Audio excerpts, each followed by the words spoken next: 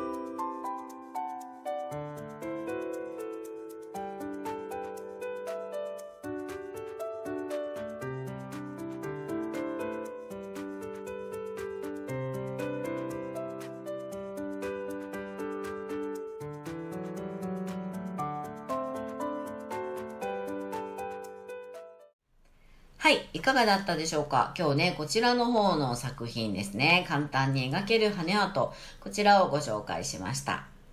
また、羽アートもね、たくさん描いていきたいと思いますので、えーぜひぜひご覧いただければと思います。